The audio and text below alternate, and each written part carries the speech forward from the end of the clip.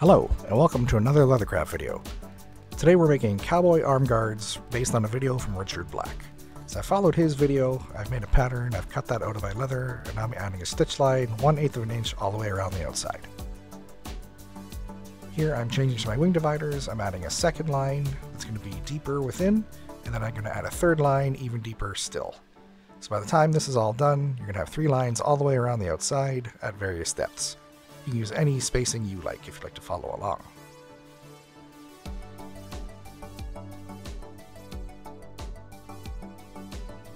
Here I'm going all the way around, making sure my grooves line up.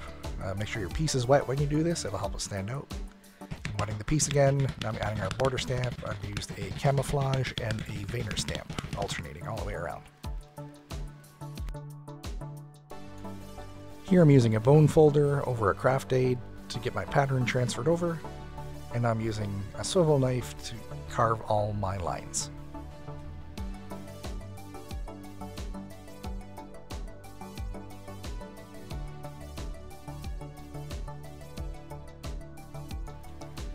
Make sure your piece is wet when you are carving to make it pop that much more. You may have to wet it as you go.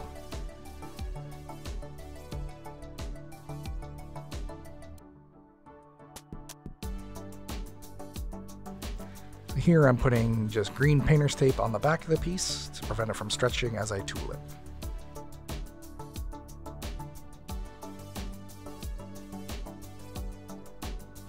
The tools I'm using for the tooling portion of this are various craft tools from Tandy Leather.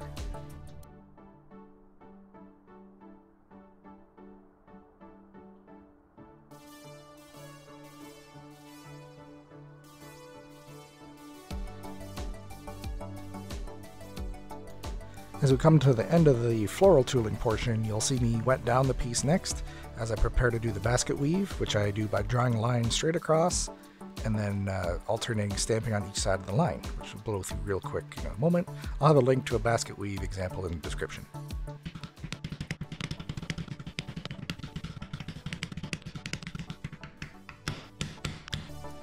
all of our tooling and stamping done, now I'm going to bevel both sides of the piece all the way around the edge, so front and the back. You can also remove the green tape at this time. So with the beveling done, now we can move on to our dye process. So I've painted with dyes using Fiebing's Professional Show Brown color in all the recesses of the floral. And here I'm using a 2 to 15 ratio of English Bridle Pro Dye to just regular rubbing alcohol. I've done a few coats of this, alternating directions as I go. Once it's dry, you're going to give it a buff, make sure it's all completely off there.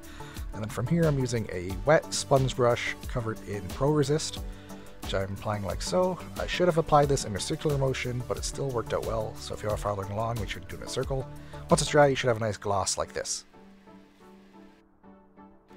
Now we're going to move on to the antiquing process. I'm using the Fiebing's Antique Paste in dark brown. It's not the gel, it is the paste you want to use. You get better results this way. At least I do. Here's the label of what it looks like. It's the only color I use, I swear by it. So once you have that applied in all the recesses, you're going to let it dry, five minutes or so, up to you. The longer you let it set, the harder it is to rub off. Here I am rubbing it off. Uh, when you do rub off your antique, you don't want to press down too hard. You want to leave it in all the recesses. Like I am, I am just barely scraping the surface. Once your antique is set, I let it set overnight. Now I am going to just seal my piece using Fiebing's Neutral Resolene.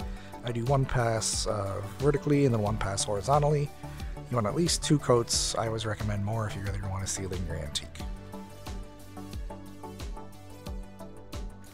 Once that's dry, I go around the outside of my edges again using a 2 to 1 ratio of dye to alcohol, give it a little bit of a darker color. You can also change colors if you like. Now you can slick your edges using gum trag or beeswax, whatever you prefer. I use a buffing wheel as well to speed up time. Now we're going to punch our slots for our wrist strap and add our holes for our lacing. Now we're dyeing our wrist strap and then we're going to cut it to size. So I dye both sides of it and then I'm going to antique it with some olive oil and then I'm going to seal it with more Pro Resist.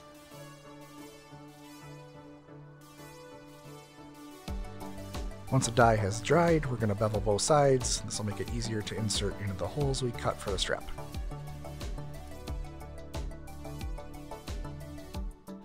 Here's the olive oil I mentioned. You just run this over both sides. I forgot to do this on the main body of the piece, which is okay because it still turned out well, but if you do do this, uh, make sure you do it for all the pieces so that way you have a more similar color. Here's the Pro Resist I mentioned. I'm just using a rag to apply it that is damp. Uh, works better than using a dry rag.